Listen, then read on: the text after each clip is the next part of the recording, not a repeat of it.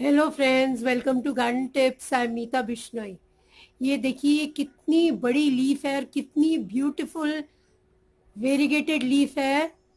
Leaf in itself एक foliage है, ये जो डेकोरेटिव फोलिएज है।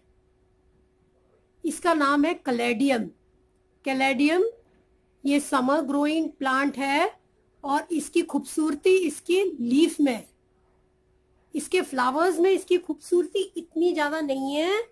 ये देखिए, इसके फ्लावर्स में इसकी खूबसूरती इतनी ज़्यादा नहीं है जितनी की इसकी लीव्स में है। इसकी हर लीफ एक अलग तरह की है। मतलब एक बल्ब में से एक ही टाइप की निकलती हैं, मगर इसके बल्ब कई तरह के होते हैं। ये देखिए, एक ये टाइप का है, एक ये है, एक ये ग्रीन में है, एक ये ग्रीन वेरीगेटेड में है, एक ये प्लेन ग्रीन में है। तो ये कई टाइप के लीव्स हैं डेकोरेटिव फोलिएज है। बहुत ब्यूटीफुल लगता है ये फ्रेंड्स और इसकी ग्रो करना, इसका केयर करना सब कुछ बहुत इजी है। इसके लिए क्या करना है, हम लोग को कलेडियम के बल्ब्स मिलते हैं ट्यूबर्स या बल्ब्स मिलते हैं, बाज़ार में आपको मिल जाते हैं फेबरी जनवरी फेबरी से मिलने शुरू हो जाते हैं नर्सरी में। और एक एक करीब बल्ब या ट्यूबर्स करीब पाँच, दस रुपए, कहीं बीस रुपए ऐसे मिलते हैं। मतलब वेरी करता है दस से बीस के बीच में एवरेजली। और एक बल्ब में से एक ही टाइप की लीव्स निकलती है। अगर इस टाइप का आपने बल्ब चूज़ किया है, इस टाइप का तो सभी लीव्स इसी टाइप की निकलेंगी। अगर आपने इस टाइप को चूज़ किया है, बल्ब तो वो इसी टाइप का निकलेगा। तो एक बल्ब में एक ही टाइप की लीव्स निकलती हैं मगर बहुत सारी लीव्स निकलती हैं ये देखिए।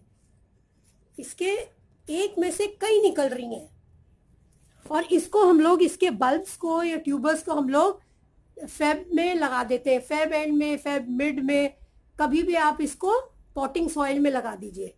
और बहुत ज़्यादा हार्ड सॉइल मत बनाइए पॉटिंग सॉइल थोड़ी लाइट बनाइए। कोकोपीट उसमें हो सैंड हो थोड़ा बोन मील हो थोड़ा नी, नीम खली हो थोड़ी फंगी साइड ज़रूर डालिएगा ताकि अगर कोई फंगल ट्रीट कोई फंगस आ गया है आपका नर्सरी से तो वो टेकन केयर ऑफ़ हो जाए। तो ये सब डाल के आप इसको फेब में आ, इसके बल्ब्स को लगा दीजिए।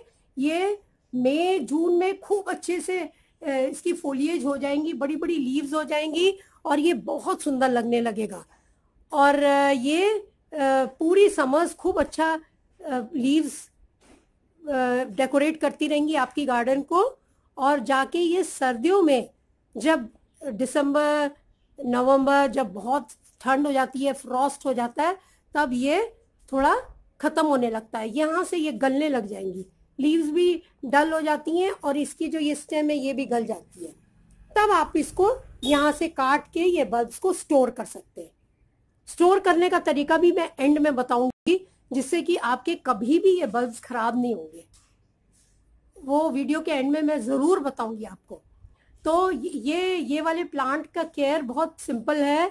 अगर आप इसको ज़मीन पे लगाते हैं, फिर तो केयर बहुत ही ईजी है। और अगर आप इसको पॉट में लगाते हैं तो वेल ड्रेन सॉइल रखनी है। और इसके गमले को पॉट्स को थोड़ा मॉइस्ट रखिएगा, क्योंकि ये थोड़ा मॉइस्चर लाइक करता है। ये सन लविंग है, क्योंकि समर प्लांट है, मगर बहुत ज़्यादा सन से ये, इसके एजेस ड्राई होने लगेंगे। और इसकी लीव्स की खूबसूरती थोड़ी कम हो जाएगी। तो इसको थोड़ी शेडेड एरिया में रखिए शेड में रखिए प्लांट के नीचे, पेड़ के नीचे या नेट के नीचे जब बहुत गर्मी हो और जब थोड़ा ठंड का मौसम शुरू हो जाए, तब इसको आप बाहर भी रख सकते हैं। मगर जब बहुत ज़्यादा ठंड शुरू हो जाती है नवंबर, दिसंबर में, तब ये ख़त्म होने लग जाता है। अच्छा मैं अब इसके बारे में बोल रही थी कि आप इसके बल्ब्स को कैसे स्टोर करेंगे?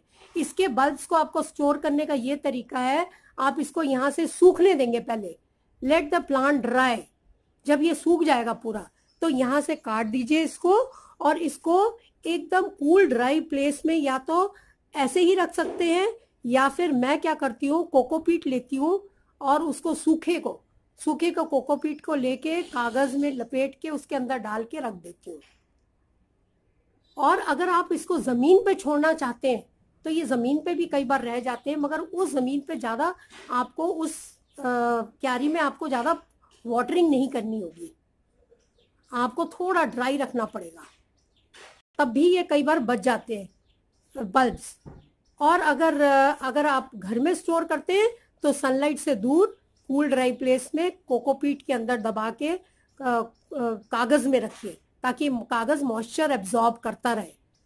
और अगर थोड़ा सा फंगीसाइड है आपके पास अगर तो थोड़ा सा फंगीसाइड कोकोपीट में मिक्स कर दीजिए, ताकि कोई फंगल इसमें अटैक बल्ब्स में ना हो। So thank you friends I hope आपको ये वीडियो बहुत अच्छा लगा। अच्छा लगा तो आप अपने फ्रेंड्स के साथ शेयर करिए लाइक करिए और कैलेडियम का ये वीडियो और मेरे चैनल को सब्सक्राइब करिए। Thank you